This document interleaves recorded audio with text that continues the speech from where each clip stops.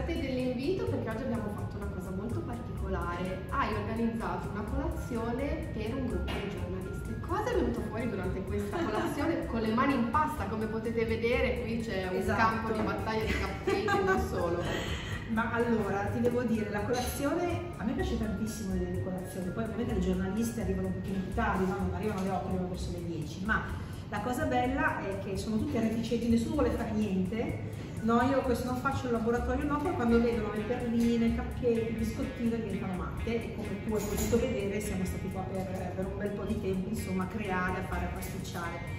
Quindi diciamo che la cucina, ehm, anche se eh, spaventa all'inizio, soprattutto le persone che magari non hanno tempo, quindi non, non si dedicano proprio sempre alla cucina, però poi quando ci sei e vedi gli ingredienti, vedi le cose di qualcuno che ti guida soprattutto, ti viene voglia di, perché così è, come posso dirti, come, come essere creativi, no? È un gioco. È un gioco, sì, la parte giocosa e anche creativa che comunque un po' ti stimola. Poi perdi la paura perché vedi che gli altri lo fanno, dici ma sì se lo fanno gli altri lo faccio anch'io, poi vedi il pasticcino, ah, io so fare meglio, quindi ti metti e quindi è sempre una cosa bella. Infatti oggi nessuno ha fa niente, come tu hai potuto vedere tutti hanno fatto qualcosa. Questo è tuo perché è la capacità comunque di appassionare eh, alla cucina e poi comunque ci ha dato un sacco di dritte, ci ha rivelato dei segreti per fare veramente delle cose eccezionali a casa. Infatti i grembiuli, che sogna per grembiule è un classico, ma anche la La Wine ha messo le mani in pasta. Non vi faremo vedere il risultato per una questione di privacy perché, perché no, perché è così bello che potrebbe far sfigurare gli altri, non è vero assolutamente. Però Sonia io ti volevo chiedere un'altra cosa, perché durante questa colazione, questa chiacchierata di stamattina, ho scoperto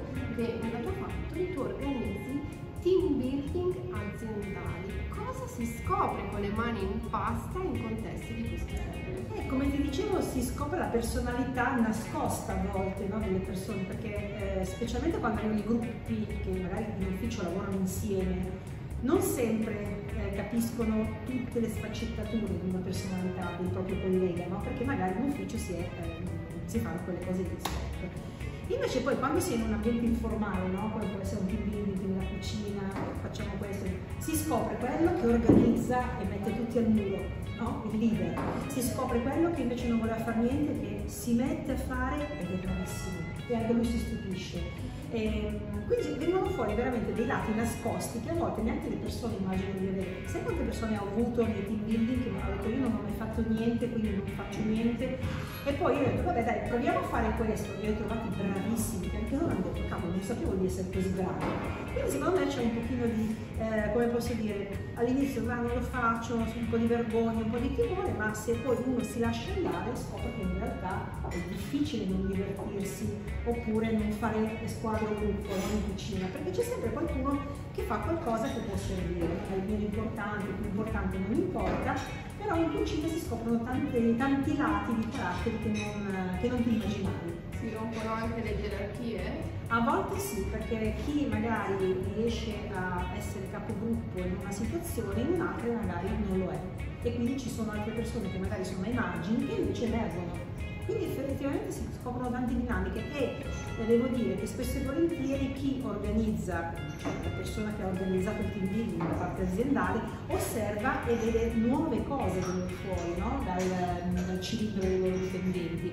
Quindi è veramente una cosa simpatica eh, che piace guarda, il 99% un po' a tutti, c'è sempre quello, sai, il musone che non vuole avere a che fare con le persone però in generale è una bella attività, un'attività creativa, è un'attività che distende, soprattutto quelli che magari sono tutto il giorno con la testa impegnata, no? poi la testa la rilasciano e lavorano con le mani e quindi la pasta fresca piace tantissimo, la pasticceria, però devo dire che anche tutte quelle attrezzature un po' particolari no? che magari tu a casa non hai, che nei ristoranti magari ci sono, sono molto attraenti per le persone che vengono qua, ma anche cose banali, termometro, laser, luce su tutto e poi fare apparecchiature tipo sottovuoto, tutte quelle cose che magari a casa uno non ha, che però quando viene su nel team building utilizza e poi si rende conto appunto che sono semplici, no? basta avere quelle due o tre nozioni e ti possono cambiare la vita. Ed effettivamente queste sono cose carine, sempre da mostrare. Insomma. Un episodio particolare, divertente, buffo, che ti ha spiazzato in uno di questi team building. Abbiamo avuto team building di persone straniere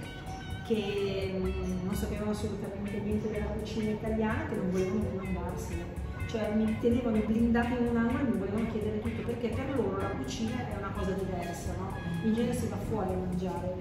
E queste persone quando scoprono che invece si possono fare cose molto buone e anche semplici e magari appunto creative, pensa alla pasta fresca, quanta ne vuoi, i formati che vuoi, ecco allora sono tutti stranieri che amano la cucina italiana, ma in generale non la sanno cucinare, impazziscono proprio. E ci sono stati episodi di persone che non volevano più andarsene che poi a un certo punto li hanno dovuti caldamente accompagnare all'uscita. Aver passato una mattinata con te non mi stupisce quello che mi hai appena raccontato.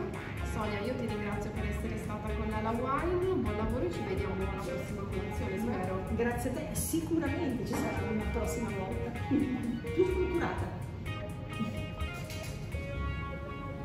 Se ti è piaciuto questo contenuto condividi, metti like e iscriviti ai nostri canali Lala Wine Magazine.